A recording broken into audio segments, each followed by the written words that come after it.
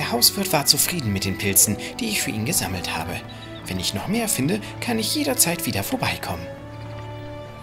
Okay, noch ein Händler mehr. Uh, der kauft mir auch alle anderen Pilze ab. Alles klar. Die zum Beispiel. Und die zum Beispiel. Gott, ich erinnere mich gerade wieder, man kann irgendwann, oder man lernt halt mit der Zeit immer neue Sachen zu finden und dann kann man immer wieder in die alten Gebiete zurückgehen.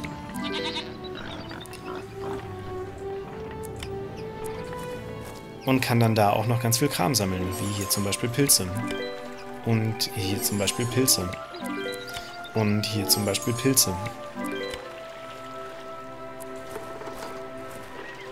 Und hier zum Beispiel Pilze. Und hier zum Beispiel Pilze. Und hier zum Beispiel eine gesprungene Schallplatte. Nein, Spaß beiseite. Ähm, wir lernen erstmal angeln, das ist, glaube ich, ganz sinnvoll. Ah, gut, Junge. Jetzt bringe ich dir bei, wie man Fische fängt. Sobald ich alles Nötige habe, gibt mir Bruselin eine Lektion im Fischfang. Okay, dann brauche ich jetzt doch noch eine Angel. Dank Hofig, wo mal eine war. Guten Tag, Lady. Ich brauche mal Ihre Angel, wa?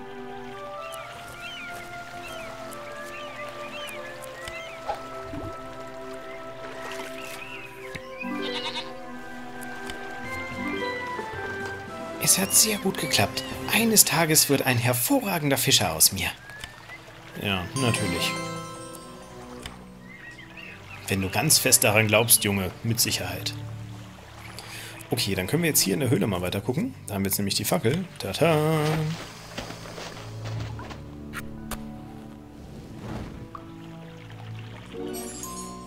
Und sammeln erstmal diese Krabbe ein und diese Kiste. Ich muss sagen, es hat sich gar nicht so viel zum ersten Teil getan, aber die Höhlen sind neu und das finde ich schon mal ganz cool. Okay, dafür brauchen wir drei Soldaten, einen gigantischen Pike, einen Gifttrank, drei Heiltränke und außerdem müssen wir uns noch eine ganze Menge ausruhen davor. Gut, dann lassen wir Mr. Riesenalligator wohl erstmal da stehen. Okay, aber angeln können wir noch. Beim Angeln von Fischen habe ich eine versiegelte Flasche geangelt. Als ich sie brach, fiel aus ihr eine kleine Landkarte heraus, die auf einen Standort der Fischersiedlung verwies. Hm, wer weiß, was dort ist. Gott.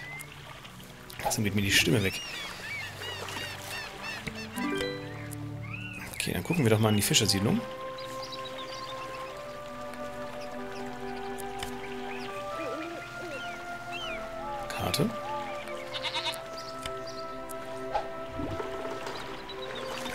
Gehen, glaube ich, auch bald die Köder aus, ne?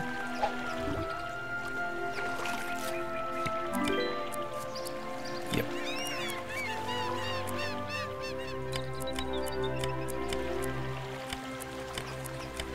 Gott, kann ich da nicht gleich fünf auf einmal kaufen?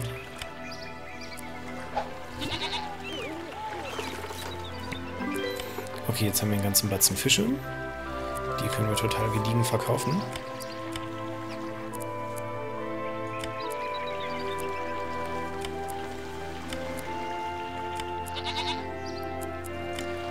Soweit, so gut.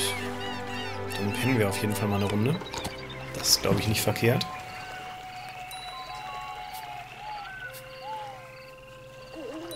Ah, und hier ist der komische Ort. Hierhin zeigt die Landkarte, die ich aus dem Wasser geangelt habe. Könnte es sein, dass hier etwas begraben ist? Meine Schwester! Entschuldigung, Test. oh, eine Schatztruhe. Okay. Jetzt habe ich eine Schatztruhe und mit der kann ich nichts machen. Schon irgendwie deprimierend. Da kann ich bestimmt in der Stadt verkaufen oder so. Warum kann ich eigentlich noch keine Eier sammeln, wenn ich die hier schon verkaufen kann? Äh, wir brauchen aber auf jeden Fall erstmal ein Brot und davon mehr, als wir tragen können. Wie viel brauchten wir? 25, ne?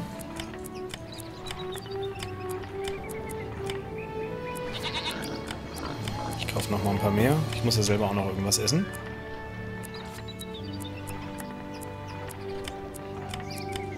Außerdem kann ich mal die ganzen Pilze hier loswerden.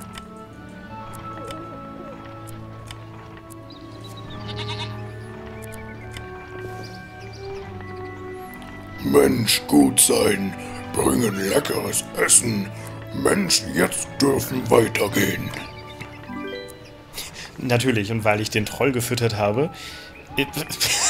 Don't feed the trolls. okay, die Anspielung hat ein bisschen gedauert. Ähm, bekomme ich auch noch zwei Ansehen oder zwei Ruf. Natürlich. Ah, haben wir denn aus dem Internet nichts gelernt? Was kann ich hier eigentlich noch machen? Pilze sammeln, natürlich. Was auch sonst.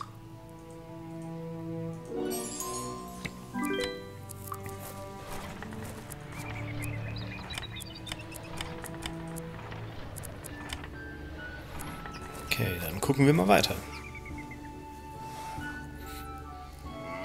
So. Hier ist ja mal einiges los. Äh, okay. Ich habe keinen Korb. Ernsthaft? Ja.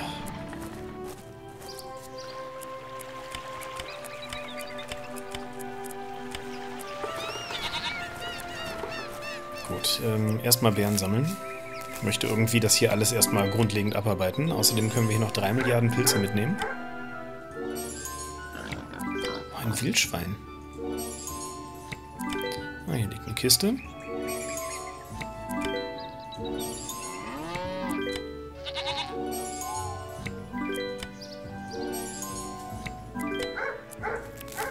Gott, wie das hier einfach mit der Zeit zu so einem riesigen Wimmelbild mutiert. So, irgendwo habe ich doch bestimmt noch was übersehen. Genau, hier unten sind noch Pilze. Hm, und dann haben wir es aber, glaube ich, erstmal. Was muss ich hier ausgeben fürs Schlafen? Zwei Fische, okay. Brauchen wir erstmal nicht. Wie viele Kraftpunkte haben wir? Oh, wir haben einen Kraftpunkt. Okay, wir pennen doch eine Runde. Einfach mal bei wildfremden Leuten ins Camp legen. Das kann man ja mal machen. Warum auch nicht? Oh, das gibt 10. Das ist ziemlich super. Und ein Seil gefunden haben wir auch noch. Wie praktisch. Dann pennen wir doch nochmal. Vielleicht finden wir noch ein Seil.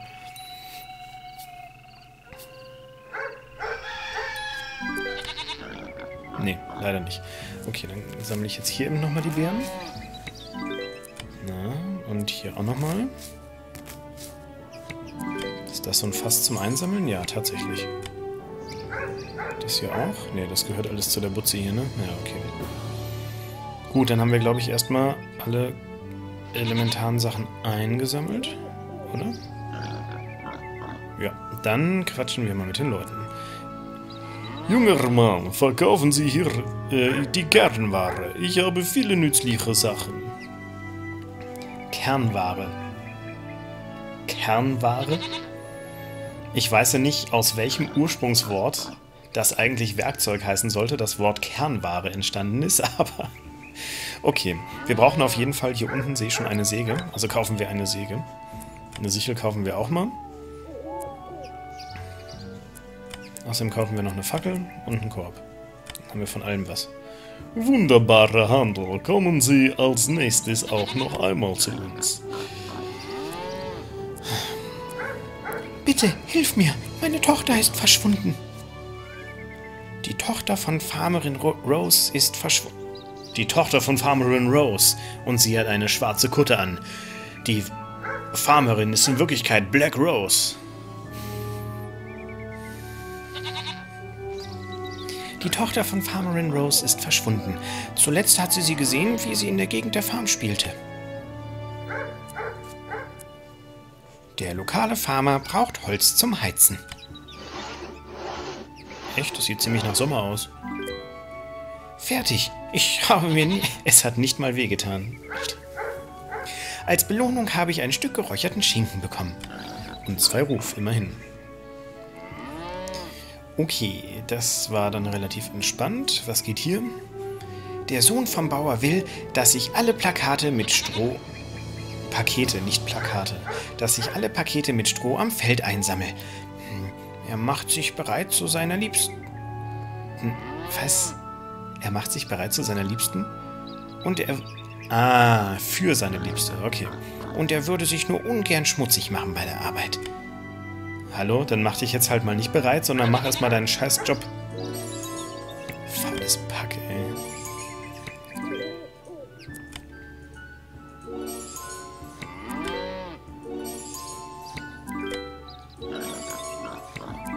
wir gleich als neue Fertigkeit bekommen, Heuballen einsammeln?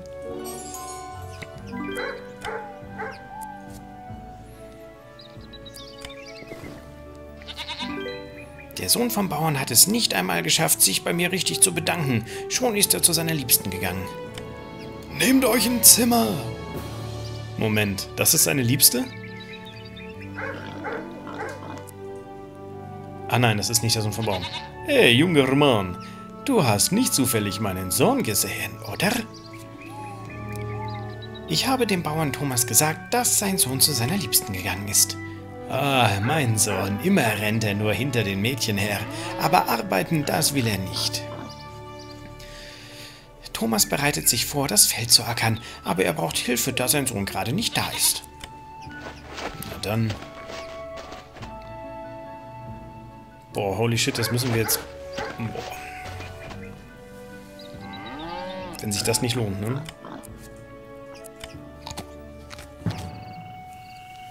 Können wir gleich dreimal pennen gehen?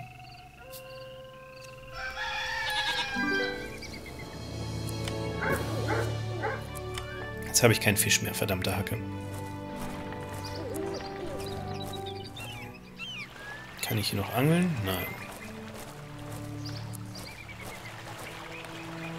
Ja, ich dachte, ich hätte hier gerade noch irgendwas zum Einsammeln gesehen, aber nein, war nicht der Fall.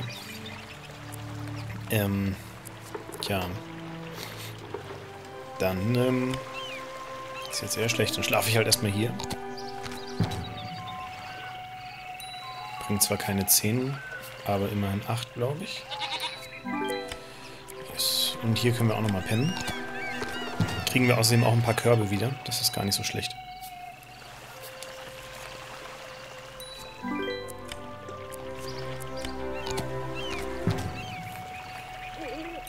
So, ich penne auch gleich eine Runde öfter, weil wir jetzt allein noch 20 Kraft brauchen, um das Feld fertig zu beackern. Und dann können wir sonst eh gleich wieder pennen gehen, von daher.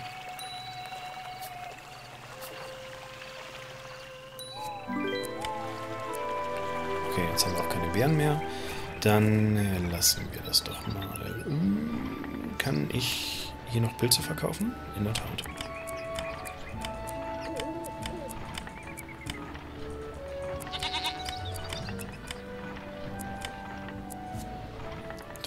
Hier noch Brot kaufen.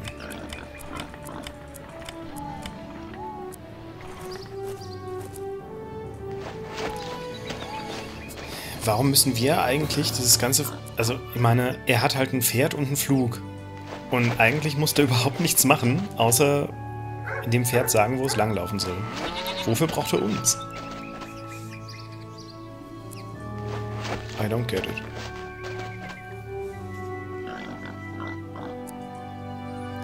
Ich danke dir, junger Mann.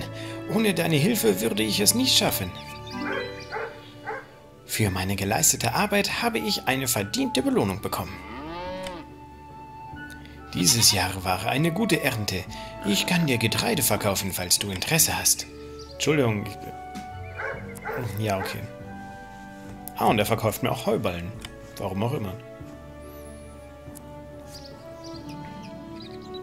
Der Farmer hat meine Fähigkeit bemerkt und bot mir die nächste Arbeit an. Diesmal will er, dass ich das Dach für ein Schutzdach umbaue. Was? Okay, äh, ich werde Material und eine Aushilfskraft brauchen. Okay, wo auch wir hier eine Aushilfskraft herkriegen.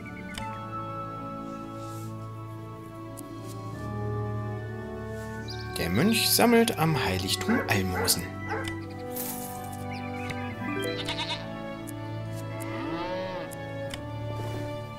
Okay. Wie viel denn noch? Okay. Zumindest mal ganz gut Ruf gegeben. Jetzt immerhin schon mal 47 Rufpunkte, das ist ganz okay. Hm, dann gucken wir doch mal nach Süden. Oha. Hey, der Zaubererturm. Zauberer, Bruder, wo bist du gewesen in all diesen finsteren Jahren?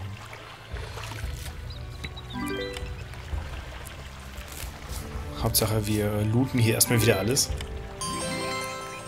Ha, sammle 15 Körbe mit Beeren. Ein Traum. Oh, was habe ich denn da gefunden? Kleidung? Tatsächlich. Hm.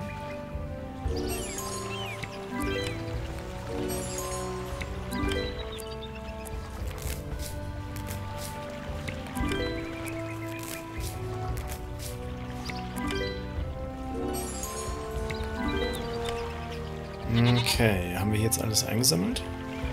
Nein, hier oben sind noch Pilze. ha, Pilzsammler, sehr schön. Dann fangen wir doch einfach mal von oben an. Dem alten Fuhrmann ist der ganze Wagen voll gefüllt mit Holz auseinandergefallen. Oh nein, sogar sein Pferd flüchtete dabei. Der Fuhrmann denkt, dass das ein Zeichen ist, dass er aufhören muss mit diesem Gewerbe. Auf seine alten Tage verdient er sich ein bisschen Ruhe. Er ist bereit, mir den Wagen mit der ganzen Ladung zu verkaufen. Okay, wir haben es hier. Drei Holz. Drei verkackte Holz. Unglaublich. Nicht weit entfernt vom Stadttor sitzt ein armer Kerl und bettelt um etwas zu essen. Dafür kriege ich Ruf. Was auch sonst. Bleib stehen, Fremder. Du darfst nicht weiter. Der Befehl des Königs heißt, kein Fremder darf die Stadt betreten. Der Wachkommandant will mich nicht in die Stadt reinlassen. Offenbar ist das eine Maßnahme gegen Spione und Piraten. Ich muss beweisen, dass meine Absichten gut sind. Okay, dafür brauchen wir noch sechs Ruf. Genau. Nun gut, äh, dann sammeln wir doch erst einmal diese Kiste ein.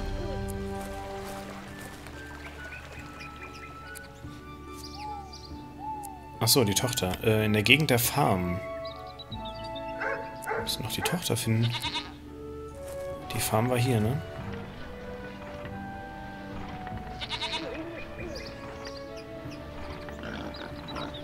Ist sie vielleicht in der Höhle? Nee, keine Tochter in der Höhle. Zum Geist ist diese Tochter. Das ist sie nicht. Hm. Damit. Das ist sie auch nicht.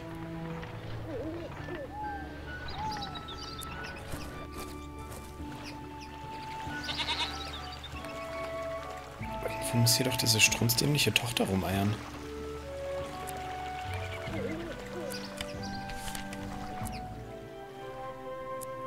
Strand der Gescheiterten. Sehr schön.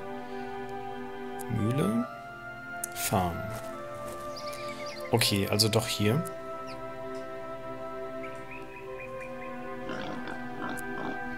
Kann mir denn hier keiner was zu dieser dämlichen Tochter sagen?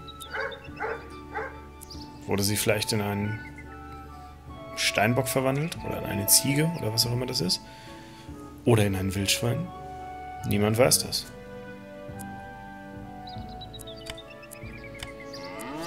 Wie viel Holzbein brauche ich da? Vier.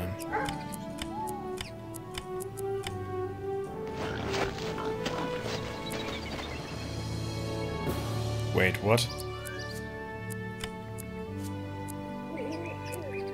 Auf dem Feld verfiel die Erde. Die Öffnung führt zu einem unterirdischen Bereich. Was zum Geier?